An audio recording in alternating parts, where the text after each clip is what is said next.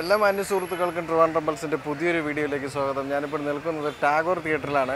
നമ്മുടെ I F F K international film festival of Kerala ഈ രണ്ടായിരത്തി ഇരുപത്തിരണ്ട് ഡിസംബർ ഒമ്പത് മുതൽ പതിനാറ് വരെ തിരുവനന്തപുരത്ത് നടക്കുകയാണ്.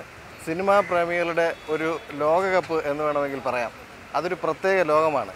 ഇന്ത്യയിലെമ്പാട് നിന്നും വിദേശത്തു നിന്നും കേരളത്തിന്റെ വിവിധ ഭാഗങ്ങളിൽ നിന്നും വന്ന വിദ്യാർത്ഥികളും മുതിർന്നവരും സിനിമാ പ്രേമികളും സിനിമാ നടന്മാരും സംവിധായകരും തിരക്കഥാകൃത്തുക്കളും എല്ലാം കൊണ്ട് നിറഞ്ഞ ഒരു വേറിട്ട ലോകമാണ് ഈ ഫിലിം ഫെസ്റ്റിവൽ വേദികളെന്ന് പറയുന്നത്. തിയേറ്ററുകളിൽ നിന്ന് തിയേറ്ററുകളിലേക്ക് ഇങ്ങനെ ഒഴുകിക്കൊണ്ടിരിക്കുന്ന ജനസമൂഹം. എല്ലാവർക്കും വീഡിയോയിലേക്ക് സ്വാഗതം.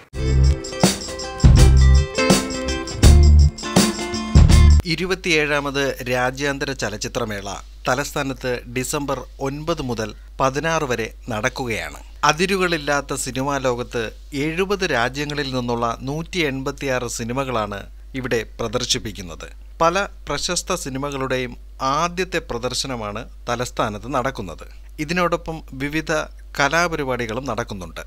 പ്രധാന വേദിയായ ടാഗോർ തിയേറ്ററിലും നിശാഗന്ധിയിലുമായി കലാപരിപാടികൾ ദിവസവും അരങ്ങേറുന്നുണ്ട്. സ്വീഡിഷ് സംവിധായകൻ താരിഖ് സലയുടെ ബോയ് ഫ്രം ഹെവൻ അമാൻ സച്ചിദേവിന്റെ ഓപ്പിയം ഫ്രഞ്ച് ചിത്രം both sides of the blade Korean ചിത്രം ബ്രോക്കർ എന്നിവയുടെ ഏഷ്യയിലെ ആദ്യ പ്രദർശനമാണ് ഇവിടെ നടക്കുന്നത്. ഇന്ത്യയുടെ ഓസ്കാർ പ്രതീക്ഷയായ ഗുജറാത്തി ചിത്രം ചെല്ലോ ഷോ ബംഗാളി ചിത്രം ജഗ്ഗി ഹിന്ദി ചിത്രം സ്റ്റോറി ടെല്ലർ തുടങ്ങിയ ഇന്ത്യൻ ചിത്രങ്ങളുടെയും ആദ്യ പ്രദർശനമാണ് ഈ മേളയിൽ നടക്കുന്നത്. മത്സര വിഭാഗം ഇന്ത്യൻ സിനിമ മലയാള സിനിമ തുടങ്ങി പതിനേഴ് വിഭാഗങ്ങളിലാണ് സിനിമകൾ ഉൾപ്പെടുത്തിയിരിക്കുന്നത്. തലസ്ഥാനത്തെ പതിനഞ്ച് തിയേറ്ററുകളിലാണ് ഇവയെല്ലാം പ്രദർശിപ്പിക്കുന്നത്. പുനലൂർ രാജന്റെ നൂറ് ഫോട്ടോകളുടെ പ്രദർശനമായ അനർഘ നിമിഷം മഹാനടൻ സത്യന്റെ നൂറ്റിപ്പത്താം ജന്മവാർഷികത്തിൽ അദ്ദേഹത്തിന്റെ നൂറ്റിപ്പത്ത് ഫോട്ടോകളുടെ പ്രദർശനമായ സത്യൻ സ്മൃതി എന്നിവയും മേളയുടെ ഭാഗമായി ഒരുക്കിയിട്ടുണ്ട്. സംവിധായകരുമായി സംവാദം open forum meet the director മൺമറഞ്ഞ ചലച്ചിത്ര പ്രവർത്തകർക്ക് സ്മരണാഞ്ജലിയായി ഹോമേജ് അരവിന്ദൻ സ്മാരക പ്രഭാഷണം മാസ്റ്റർ ക്ലാസ് ചലച്ചിത്ര നിർമ്മാണം വിതരണം സാങ്കേതികത എന്നിവയുടെ ഭാവി സംബന്ധിച്ച പാനൽ ചർച്ച എന്നിവയും നടന്നു വരുന്നു മികച്ച ചിത്രത്തിനുള്ള സുവർണ ചകോരം നേടുന്ന സിനിമയ്ക്ക് ഇരുപത് ലക്ഷം രൂപയാണ് സമ്മാനം. രജത ചകോരത്തിന് അർഹനാകുന്ന മികച്ച സംവിധായകന് നാല് ലക്ഷം മികച്ച നവാഗത സംവിധായകന് മൂന്ന് ലക്ഷം പ്രേക്ഷക പുരസ്കാരത്തിന് അർഹമാകുന്ന സിനിമയുടെ സംവിധായകന് രണ്ട് ലക്ഷം K R Mohanan endowment award നേടുന്ന നവാഗത സംവിധായകന് ഒരു ലക്ഷം എന്നിങ്ങനെയാണ് മറ്റു പുരസ്കാരങ്ങൾ. മറ്റെല്ലാം മറന്ന് സിനിമയുടെ ലോകത്ത് മുഴുകിയിരിക്കുന്ന ഡെലിഗേറ്റുകളെ കൊണ്ട് നിറഞ്ഞ തലസ്ഥാന നഗരി നൽകുന്ന ഗൃഹാതുരത്വം ഈ മേളയെ ലോക സിനിമാ ഭൂപടത്തിൽ ഉത്തമ സ്ഥാനം നൽകിയിരിക്കുകയാണ്.